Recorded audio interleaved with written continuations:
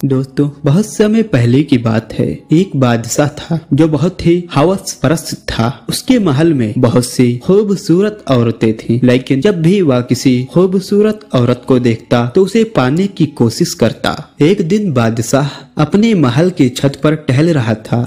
टहलते टहलते उसकी नज़र महल के नज़दीक घर की छत पर पड़ी, जिस पर एक बहुत ही खूबसूरत औरत कपड़े सुखा रही थी। बादशाह उसे देखते ही उसका आशिक हो गया। उसने अपनी बांदी को बुलाकर पूछा, ये किसकी बीबी है? बांदी ने कहा, बादशाह सलामत, ये आपके गुलाम फिरोज की बीबी है। बादशाह नीचे उतरा। बादशाह उस औरत के हुस्न जमाल में खो चुका था। उसने फिरोज को बुलाया। फिरोज हाजिर हुआ। तो बादशाह ने उससे कहा, फिरोज, हमारा एक काम है। हमारा ये खत फला मुल्क के बादशाह को दे आओ और इसका जवाब भी उनसे लेते आना। फिरोज उस खत को लेकर घर वापस चला गया और खत को अपने तकिए के नीचे रख दिया और सफ़र का सामान तैयार किया। रात घर में गुजारी और सुबह होते ही मंजिली मकसूद पर रवाना हो गया। इस बात से ला इल्म कि बादशाह ने उसके साथ क्या चाल चली है? इधर जैसे ही फिरोज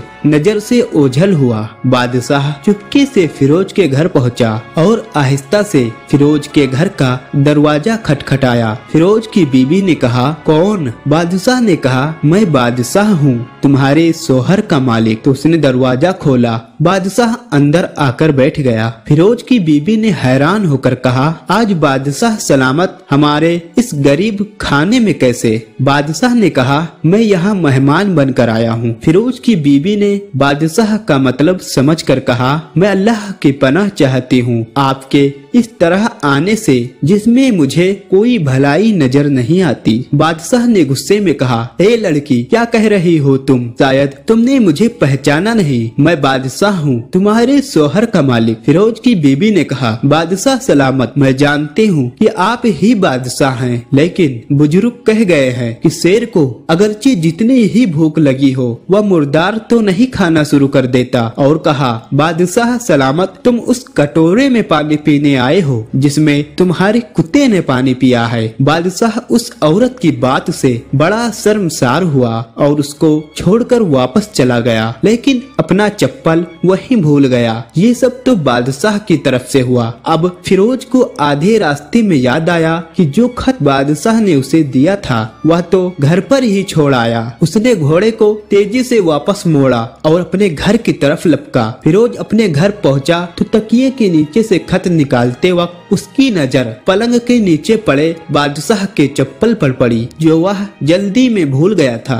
फिरोज का सर चकरा कर रह गया और वह समझ गया कि बादशाह ने उसे सिर्फ़ इसलिए भेजा था ताकि वो अपना मतलब पूरा कर सके। फिरोज किसी को कुछ बताए बगैर चुपचाप घर से निकला। खत लेकर वह चल पड़ा और काम खत्म करने के बाद बादशाह के पास वापस आया। तो बादशाह ने उसे इनाम के तौर पर सौ दिनार दिए। फिरोज रोज दिनार लेकर बाज़ार गया और औरतों की इस्तेमाल के कीमती कपड़े और कुछ तहाइफ भी खरीद लिए। घर पहुंचकर बीबी को सलाम किया और कहा, चलो तुम्हारे मैके चलते हैं। बीबी ने पूछा, ये सब क्या है? फिरोज ने कहा, बादशाह ने इनाम दिया है और मैं चाहता हूँ कि तुम ये पहनकर अपने घर वालों को भी दिखाओ। बीबी ने कहा, जैसा आप चाहें। बीबी तैयार हुई और अपने वालिदेन के घर अपने सोहर के साथ रवाना हुई। दमाद और बेटी और उनके लाए गए तहाइफ को देखकर वो लोग बहुत खुश हुए। फिरोज बीबी को छोड़कर वापस आ गया। एक महीना गुजरने के बावजूद न बीबी का पूछा और न ही उसको वापस बुलाया। फिर कुछ दिन बाद उसके साले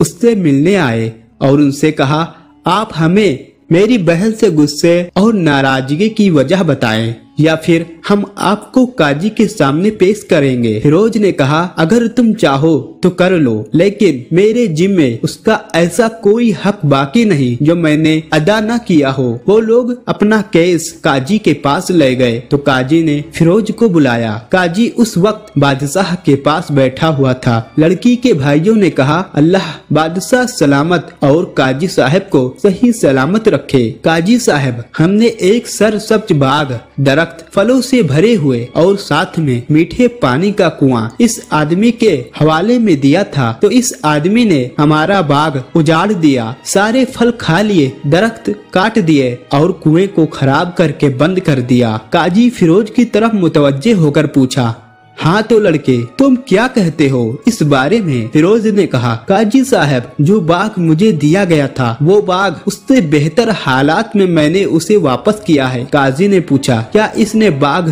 तुम्हारे हवाले वैसे ही हालत में वापस कर दिया है, जैसा पहले था? उन्होंने कहा हाँ वैसे ही हालत में वापस किया है, लेकिन हम उनसे बाघ वापस करने की वजह जानना चाहते है। काजी ने कहा, फिरोज, तुम इस बारे में क्या कहना चाहते हो? फिरोज फिरोज ने कहा, काजी साहब, मैं बाघ किसी बुग्ज या नफरत की वजह से नहीं छोड़ा, बल्कि इसलिए छोड़ा कि एक दिन जब मैं बाग में आया तो उसमें मैंने शेर के पंजों के निशान देखे तो मुझे खौफ हुआ कि शेर मुझे खा जाएगा। इसलिए शेर के इकराम की वजह से मैंने बाग में जाना बंद कर दिया। बादशाह जो टेक लगाए हुए, ये सब कुछ सुन रहा था। उठकर बैठ गया और कहा, फिरोज, अपने बाग की तरफ़ मुतमईन होकर जाओ। अल्लाह की कसम, इसमें कोई शक नहीं कि शेर तुम्हारे बाग आया था, लेकिन वह, वहाँ पर न तो कोई असर छोड़ सका, न कोई पत्ता तोड़ सका, और न ही कोई फल खा सका। वो वहाँ पर थोड़ी देर रहा